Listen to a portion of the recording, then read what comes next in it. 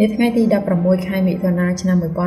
1963អវកាសយានិកជនជាតិសូវៀតមួយរូបគឺលោកស្រី Valentina Tereshkova បានក្លាយជាស្ត្រីដំបូងគេបង្អស់ដែលបានធ្វើដំណើរទៅក្នុងលំហអាកាសដោយជិះយានអវកាស Vostok 6ក្រោយគោចរជុំវិញផែនដីបាន48ជុំនិងចំណាយពេល71ម៉ោងរួចមកលោកស្រីបានវិលត្រឡប់ចុះមកផែនដីវិញគិតត្រឹមពេលនោះ ការធ្វើដំណើរក្នុងលំហអវកាសរបស់លោកស្រី គឺច្រើនជាងរយៈពេលនៃការធ្វើដំណើរក្នុងទីអវកាសរបស់អាកាសយានិកអាមេរិកទាំងអស់បូកបញ្ចូលគ្នាថែមទៀតផងលោកស្រី Valentina Vladimir Runa Teresvoka កើតក្នុងគ្រួសារកសិករមួយនៅក្នុងប្រទេសរុស្ស៊ីក្នុងឆ្នាំ1937ដែលជាអំឡុង សម័យសហភាពសូវៀតលោកស្រីបានចាប់ផ្ដើមការងារដំបូងនៅរោងចក្រវាយនភ័ណ្ឌមួយកន្លែងនៅអាយុ18ឆ្នាំ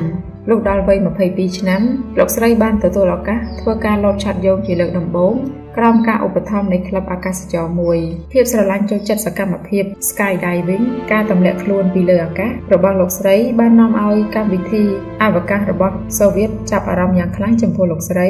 ខណៈសូវៀតពេលនោះកំពុងតែព្យាយាមស្វែងរកស្ត្រីអវកាសយានិក ដើម្បីបញ្ជូនទៅកាន់ទីអវកាសនៅអំឡុងដើមសតវត្សឆ្នាំ1960ក្រោមគោលដៅសម្រេចជោគជ័យមួយទៀតឲ្យបានមុនសហរដ្ឋអាមេរិកជាមួយនឹងបទពិសោធន៍ជាអ្នកលោតឆាត់យងដ៏ជោគជ័យមួយរូបលោកស្រី Therese Voka មានសមត្ថភាពគ្រប់គ្រាន់ក្នុងការប្រឈមនឹងតម្រូវការយ៉ាងលំបាកមួយនៃការធ្វើដំណើរក្នុងយាន Vostok គឺការចាក់ចេញពីយានអវកាសនេះពេលចុះមកដល់វិញត្រឹមកម្ពស់ជាង6គីឡូម៉ែត្រហើយទម្លាក់ខ្លួនមកដីដោយប្រើឆ័ត្រយោងនៅក្នុងខែកុម្ភៈឆ្នាំ1962លោកស្រីត្រូវបានជ្រើសរើសជាមួយស្ត្រី3នាក់ទៀតដែលជាអ្នកលោតឆ័ត្រយោងដូចគ្នានិងស្ត្រីម្នាក់ទៀតដែលជាអ្នកបើកយន្តហោះដើម្បីចាប់ផ្ដើមការវឹកហាត់ឲ្យក្លាយជាអវកាសយានិកក្នុងឆ្នាំ1963លោកស្រី Therese Voka ត្រូវបានជ្រើសរើសឲ្យចូលរួមក្នុងបេសកកម្មមួយនៃកម្មវិធីយាន Vostok ដោយមានការប្រើប្រាស់យានអវកាស Vostok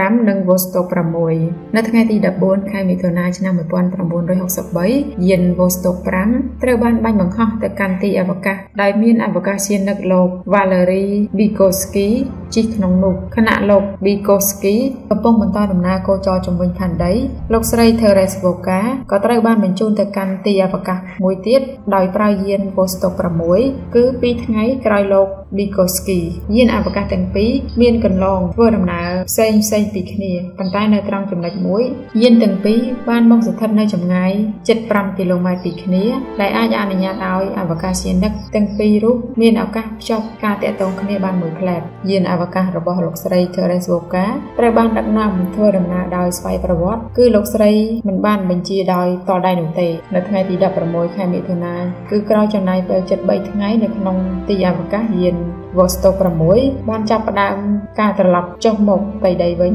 លោកស្រី Therese Voka បានលុតឆាត់ចុះមកដល់ដីដោយសុវត្ថិភាព ក្រោយចាក់ចេញពីយាននៅកម្ពស់77គីឡូម៉ែត្រចំណែកលោក Vygotsky ក៏បានចុះមកដោយសុវត្ថិភាពផងដែរនៅប៉ុន្មានម៉ោងក្រោយមកក្រោយការធ្វើដំណើរជាប្រវត្តិសាស្ត្រនេះលោកស្រី Valentina Tereshkova ទទួលបានពានរង្វាន់យ៉ាងខ្ពង់ខ្ពស់ពីសហភាពសូវៀតនៅខែវិច្ឆិកាឆ្នាំ1963លោកស្រីបានរៀបការជាមួយនឹងលោក Adrian Nikolayev ដែលជាអវកាសយានិកដូចគ្នាយ៉ាងណាក្តីមិនយូរប៉ុន្មានក្រោយមកអ្នកទាំងពីរក៏បានចែកផ្លូវគ្នាដោយបន្សល់ទុកកូនស្រីម្នាក់នៅឆ្នាំ1966លោកស្រី Therese Voka បានក្លាយជាសមាជិកសភារបស់សហភាពសូវៀតនិងមានតួនាទីជាអ្នកតំណាងឲ្យសូវៀតប្រចាំអង្គការនិងព្រឹត្តិការណ៍អន្តរជាតិសម្រាប់ស្ត្រីជាច្រើនផងដែរលោកស្រីមិនដែលធ្វើដំណើរទៅកាន់ទីលំហអវកាសបន្តទៀតនោះឡើយ រហូតដល់តែដល់សតវត្សឆ្នាំ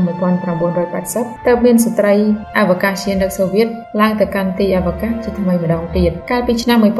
1950សហរដ្ឋអាមេរិកបានពិនិត្យលើស្ត្រីអ្នកបើកយន្តហោះមួយក្រុមផងដែរក្រោមគោលដៅចង់បង្វឹកពួកគេឲ្យក្លាយជាអវកាសយានិកប៉ុន្តែក្រោយមកក៏សម្រេចចិត្តកម្រិតនៅសកម្មភាពវឹកហាត់ទាំងអស់នោះសម្រាប់តែបុរសវិញតែប៉ុណ្ណោះត្រីជនជាតិអាមេរិកដំបូងបំផុតដែលបានធ្វើដំណើរទៅក្នុងទីលំហអាកាសនោះគឺលោកស្រី Solly Rai ដែលមានតួនាទីជាអ្នកជំនាញបេសកកម្មនៅលើជើងយន្តហោះរបស់យានអវកាស Challenger កាលពីឆ្នាំ1983